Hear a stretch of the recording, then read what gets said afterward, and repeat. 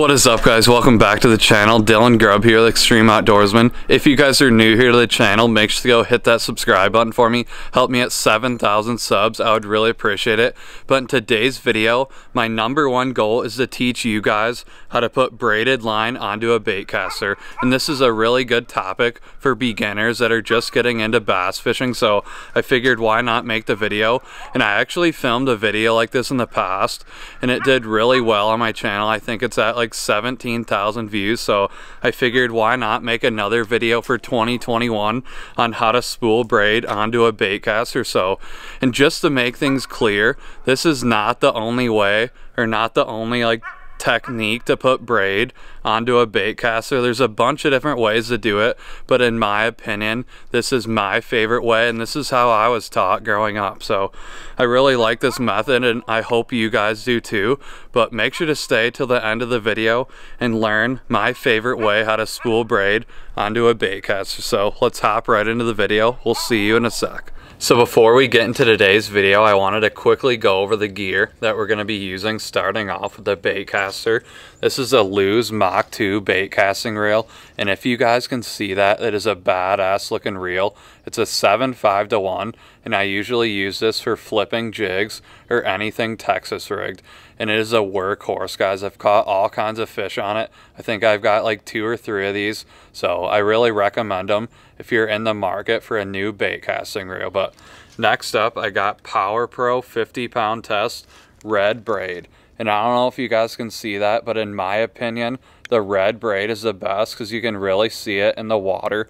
A lot of guys use the dark green Power Pro braid, but I don't really like that. It's super hard to see in the water, so I typically get red braid because you can see it super easy in the water and you can really see when that fish hits your lure. So I just wanted to go over the gear, but now I'm going to show you how to put this braid on the Lew's Mach 2 bait caster. So first off guys, you're going to want to get your braid and feed it through the very first eye closest to the bait caster. So I'm going to do that real quick. And like I said, this is my favorite way to spool braid on a bait caster. It's not everyone's favorite way. Not everyone does it like this, but in my opinion, it's the easiest and it really holds down super nice. But next up, you're gonna wanna put your braided line through this little hole right here and get it to the spool. I don't know if you guys can see the little holes right there on the spool, but if you guys can see the little holes right there, they're like almost little wiffle ball holes. You're gonna wanna feed your line through one of those holes and tie a knot right to the spool. And in my opinion, this is the easiest way to do it because your line is not going to be slipping on the spool. It's going to be tied directly to that little hole right there. So, so guys, I'm trying to get you a good view, but it's sort of hard to hold up the reel and do this all while filming, but I'm going to try to get you guys the best view. But right now, like I said, I'm just feeding the braided line through that little hole right here on the spool. And like I said, this is my favorite way to do it. Not everyone does it like this, but this is just the way I was taught.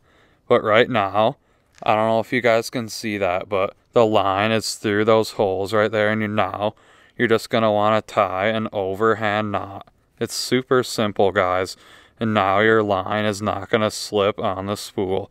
So right now I'm just tying an overhand knot and you want your line as tight to the spool as possible. So you don't want any, I don't know what you would call it, you just want your line as tight to the spool as possible, just like that and make sure to tie an overhand knot and clench it down super tight.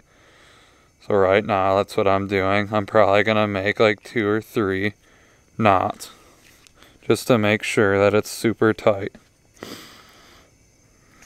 So guys, I don't know if you can see that, but I tied my first knot right to those holes.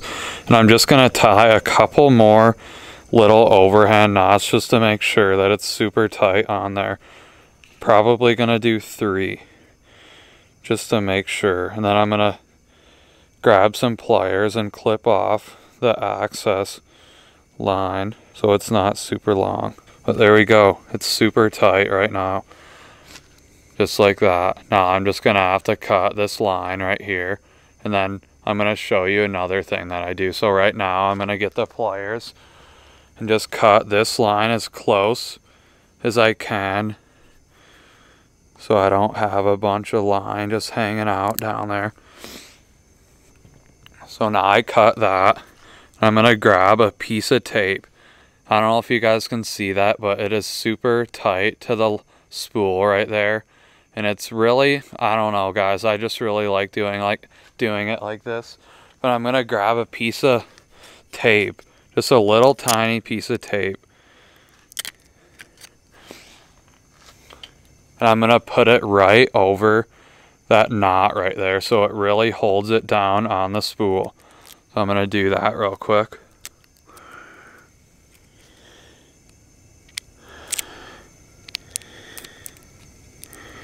And that tape is going to hold it super secure on to the spool. So I'm just clenching the tape down right now on the spool. And I don't know if you guys can see that right there, but it's holding that knot super tight down. And now it's super tight, guys, right there. Check that out. Super cool, super easy way to get your braided line onto the bait caster without having any slippage on it. So right now, the main thing you have to do, you want your drag as tight as possible. This little lever right here, you want the drag as tight as possible because you're going to really want to crank this braid on here. You're going to want the braid to get on here as tight as possible. You don't want any tension or any loose braid on your bait casters. So right now I'm just going to hold this line down here and really crank it. You're to really want to crank. It's kind of hard to do it while holding it and everything, but you're want to hold your braid as tight as possible, almost like a kink in it and you're want to really, really crank that on there tight, as tight as possible. You don't want any loose line on your bait caster. So right now I'm just to reel it on super tight. And like I said, do you really want to try to get it tight as possible. So when you're casting, you're not going to have any backlashes. But right now I'm just cranking it on. It's going on pretty good. And another thing is you don't want to put too much braid on because that's that can be really bad when you're casting. It'll get caught in this button right here and everything. Too much braid is bad, guys. You just want to put enough to where you can cast. So that just ended the spool. Uh, or that just ended all the braid that was on that. Well guys, that is going to end today's video. I hope you guys learned how to put braided line onto a bait caster. I just finished up spooling that 50 pound braid on this bait caster and it looks super good. I'm probably going to have to get it a little tighter. It was just hard to do everything while filming and holding up all the rod and reel and everything, but you guys got the point. Hopefully you guys like this technique on how to spool braid onto a bait caster and let me know in the comments below what you guys thought of today's video if I should make another video on how to spool braid on a spinning reel but make sure to stay tuned for more how-to videos and we'll see you guys in the next one.